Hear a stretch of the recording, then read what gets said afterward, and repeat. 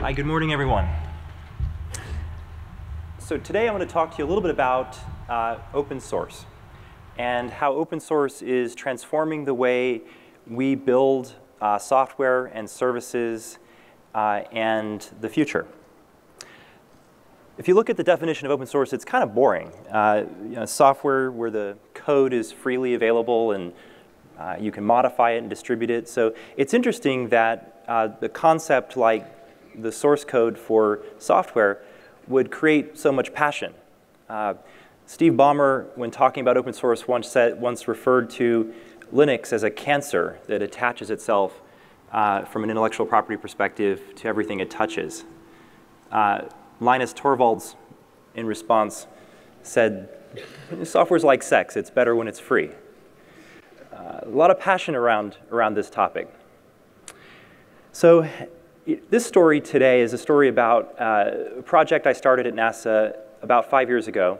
Uh, my story begins on Earth, actually Google Earth to be, to be more specific. Um, and it's a story about how we created what is now one of the fastest growing and, and largest open source projects in history. And it actually started, as most open source projects do, with a problem. Uh, when I was at NASA, I was the chief information officer at NASA Ames Research Center, and we had a, we had a really big problem. And it wasn't some Bond villain in a layer in a hill. That's actually a, a space telescope that we were in the process of building, and it's called the Large Synoptic Survey Telescope. It would uh, have a 3,200 megapixel camera. Your iPhone's about 10 and it would survey the entire night sky every day, and it would generate about 30 terabytes of data per night.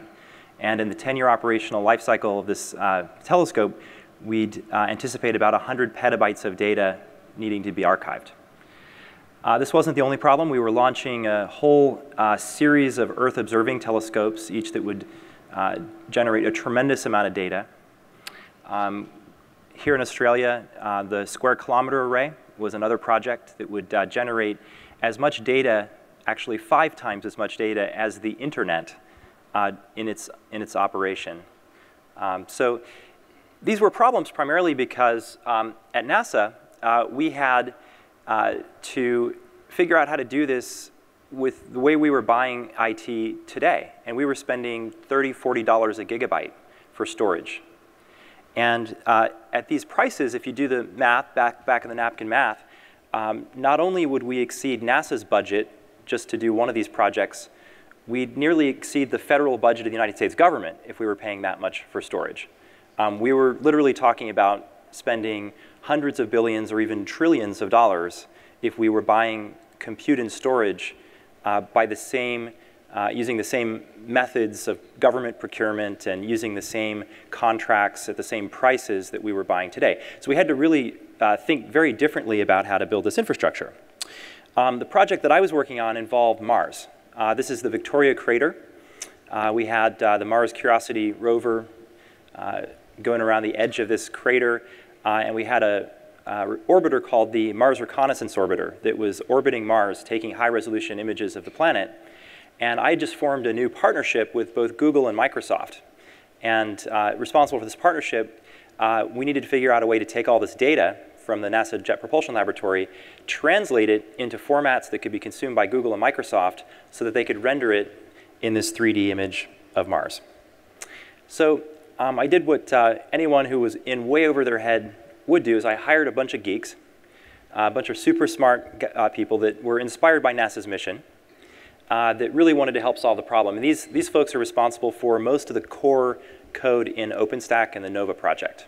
Uh, these are developers that you'll find responsible for uh, a, lot of the, a lot of the code at the core of OpenStack. Um, we built this technology and we, we tried to use the same approaches that Microsoft and Google were using in their data centers. So as it turned out, uh, I was a CIO at a place where we had uh, one of the initial uh, places where the internet was, was uh, created, the ARPANET back in the uh, late 60s. Uh, uh, and lots of connectivity, lots of cheap power, lots of land right in the middle of Silicon Valley. And uh, what I was able to do is build these shipping containers and put the infrastructure uh, literally on a gravel right next to MAE-West, which was this seventh node of the ARPANET where we had a tremendous amount of connectivity. And we were using the same approaches that Google and Facebook were using. So these, these shipping containers uh, had petabytes of storage, thousands of cores of compute, and cost about a million dollars um, versus the tens of millions of dollars that you might pay uh, to put an, a traditional data center in place. So um, we actually got it done, and we were able to deliver to both Microsoft and Google stunning high-resolution imagery. Uh, in fact, you can go in and download Google Earth or go to your browser and go to earth.google.com or worldwidetelescope.org, and you can actually see um, all of the imagery that NASA has ever collected on Mars. Uh, you can zoom in, you can fly through the craters uh, on Mars, and you can experience that. Um, your kids can, can do this in schools, and it's free. Uh, and there were over a billion people that have downloaded uh, Google Earth and installed it. So this was a way for NASA to take information that was literally probably only seen by a few hundred people, and you're a single click away from being able to explore Mars. Uh, and we made this accessible to literally hundreds of millions of people in the last five years. So the next thing that happened was uh, we, we got a lot of attention around the project, and the White House, uh, sitting in my office, and I got a phone call from Blocked, which is always interesting.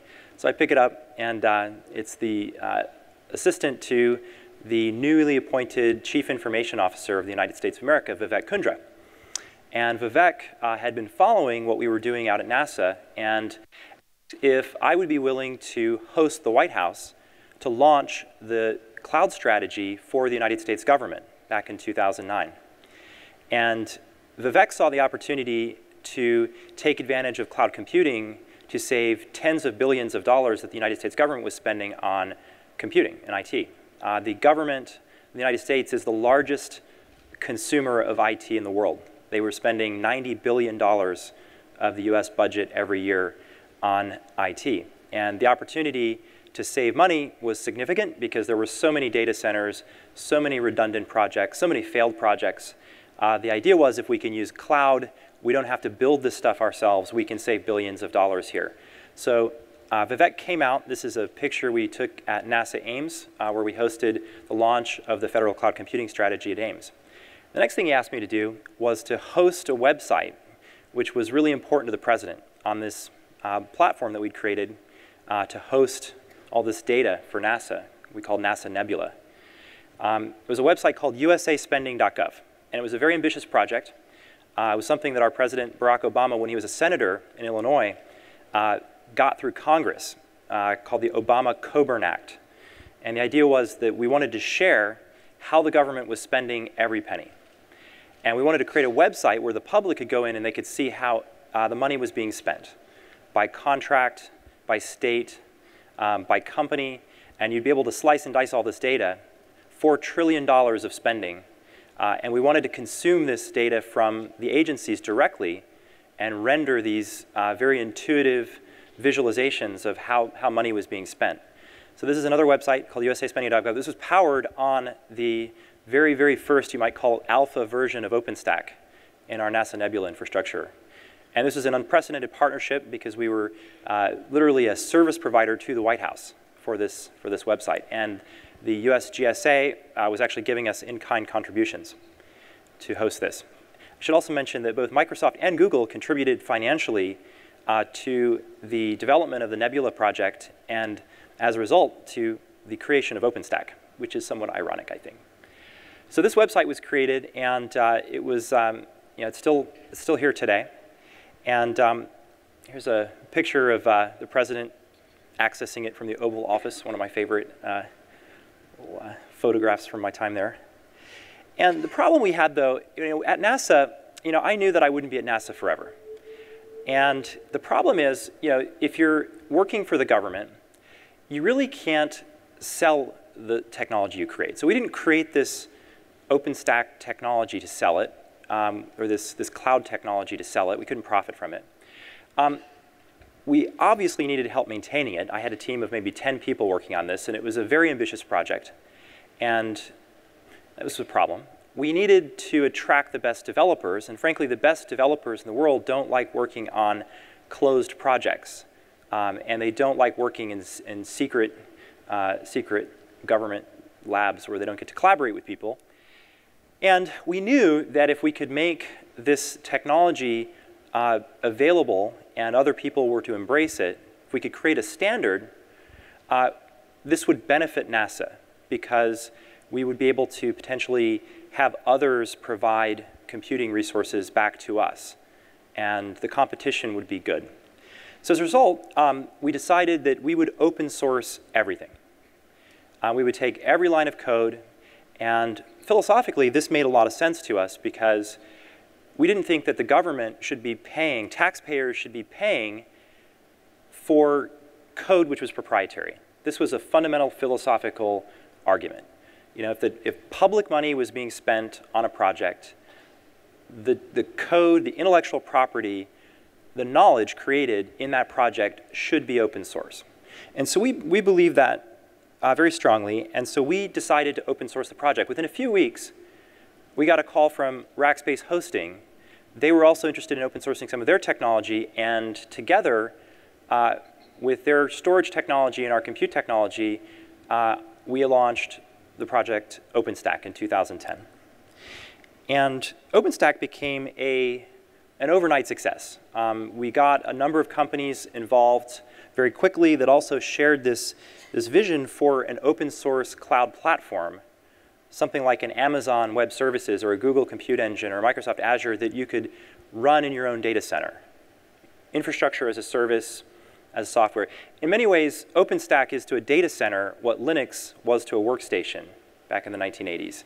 Um, it's a way you can treat an entire uh, room full of computers as one system, hundreds or even thousands of computers. Um, some of the more recent large-scale successes of OpenStack include uh, the CERN Particle Physics Laboratory, where they have over 150,000 compute cores, uh, where they're taking all the data from the uh, various instruments at CERN and processing it using OpenStack, and the US retailer Walmart, uh, which just announced they're using OpenStack to power their entire e-commerce infrastructure, or BMW. There are many, uh, many examples now of OpenStack being used in very large, um, very large environments.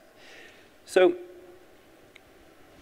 and uh, this isn't a talk about OpenStack, but um, we've recently seen both HP, Cisco, and other companies commit billion dollar investments to, to this project. So this is a project that didn't exist ago, uh, five years ago, that a small uh, group of hackers at NASA put together, and because we decided to open source the technology, we got literally every major IT company throwing their weight behind the project. And now NASA doesn't need to build it anymore.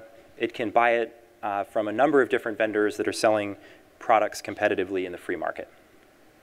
So really, what, what I learned from this experience was it's not about the code. It's about the value that the code provides. And there was so much more value in the code that we created becoming available to everyone, becoming a standard in the industry, especially to NASA. Um, it far exceeded the value that just keeping this as a proprietary closed project within NASA could have ever produced. So really, it's about freedom and innovation. I guarantee there has been far more innovation in infrastructure in OpenStack as a result of this project becoming freely and openly available than could have ever happened um, you know, in, in any other context. So put in another way, everybody talks about cloud computing versus on-premise packaged software, software that you run in your data center. Really what this is about is about the difference between sale value and use value. Um, we've often thought about software in the context of something that you buy, something that's sold, something that's it's like a, a manufactured good. Um, and in this model, closed software makes sense. If, if you're selling something that uh, once you've sold it, um, someone's benefiting from it and it's being run and operated and it's kind of theirs, it's a licensed good, um, this makes sense. But if you think about software as a means to an end, as a means of production, um, things change very differently. Uh, things, things change in the way you value software. And if you think about what's happening more broadly in the computer industry today, we're starting to see software more as a utility than an asset that we buy and own and install and operate ourselves. And this is reflected in the way we're consuming and using computers. Uh, this is a graph that shows the uh, computer industry from 2000, from 1995 all the way up and through, through recently, where we look at the market share of desktop PCs, notebook PCs, and tablets. If you were to put phones on here, it would eclipse all of these numbers. You know, Apple sold more phones in a single quarter than the entire PC industry sold uh, computers. So, I mean, these numbers are staggering. Um, if you look at this, tablets didn't even exist in the market a few years ago, and now the sales of tablets are exceeding the sales of PCs. And the implication that this has is to economics. The economics of software have changed. Economics, if you look at the definition, it's, it's a science of the optimal allocation of resources in the attainment of values. It's also it's about scarcity. And if you think about the marginal cost of software, it's nothing. I can create a million copies of a piece of software. I can download something 10 million times for roughly the same cost as downloading it 100 times. And so if we think about the way open source plays into this. And in particular, in the example we used earlier, if we had kept the technology that became OpenStack to ourselves, if we had attempted to do what NASA had done in the past, which is to license it and to try to generate license revenue from it, the value would have been significantly less than if we had opened it up, created a new standard, and transformed an industry around it. And so to some degree, open source, the more people that use a product, the more people are debugging it, the more people that are contributing to it. And so the more a software project is available, the more you give it away, actually the more value it has to you because you're getting more contribution back. You're getting more people using it. Um, you're, you're creating more standards, more products around it. Um, it's actually profound. It, it, it, it flies in the face of economics. It's, it's like negative scarcity. Um, and if you consider uh, what this means to the computer industry, when we bought computers and we bought software, it makes sense to think about software as a manufactured good, you know, in the, in the context of, of traditional economic principles like scarcity. But in the world of today and tomorrow, we're not buying software, we're benefiting from software. We're using software. And it's the, applic the applications live in the cloud. Applications like Facebook, um, Uber, Amazon Web Services, Salesforce.com, Office 365, they're all powered by massive hyperscale computing infrastructures. It's a screenshot of a, it's a, a picture of the Facebook Open Compute Data Center in Prineville, Oregon massive facilities with hundreds of thousands of, of systems that power applications that are pervasive in our lives, that are on our phones, that are on our watches, that are on our tablets, uh, that are on our PCs and TVs and our cars. And it's the same information uh, in all of these contexts that these applications are presenting. And so as a result, there's, there's no real value in the technology that Facebook uses to build their servers or their analytics platform and so as a result, all the internet companies are open sourcing all the technology. Because if they can create a standard, if they can get people using the technology, it creates more value for them. And so as a result, Facebook has open sourced the designs of all their data centers, all their servers, their motherboards that they use in their infrastructure, their hardware and software. Um, a, lot of the, a lot of the companies uh, that build the software services that we consume today are literally open sourcing almost every component of the technology that they use to build these services. Because the value isn't in the software, it's in the utility that the software provides.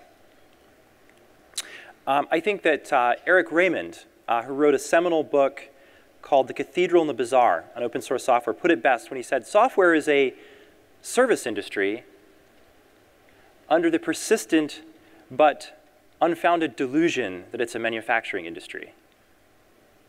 And if you think about this, it makes a lot of sense.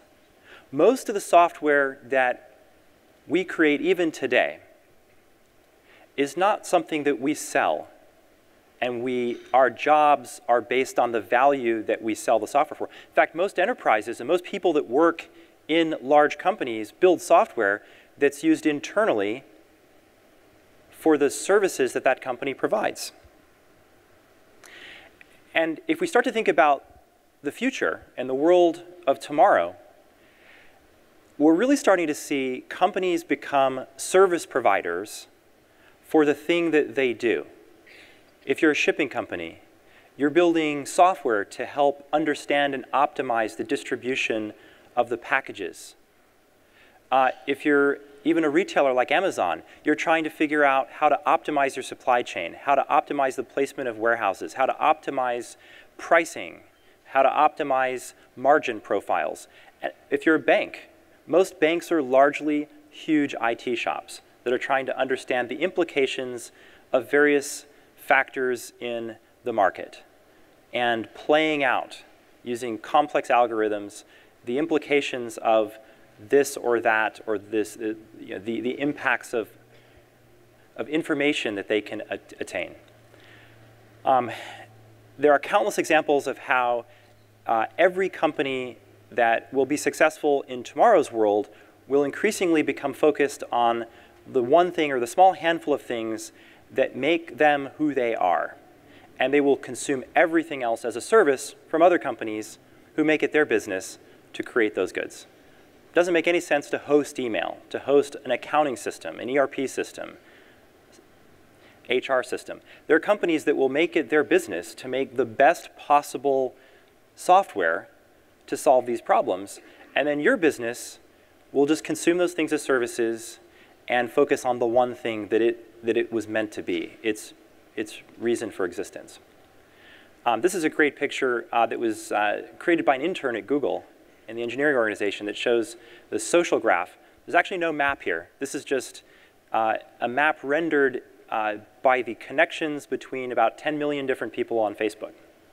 Um, something you can find. Uh, Paul Butler is a gentleman who created this. So really, what, what this is all about is software as a means versus software as an end.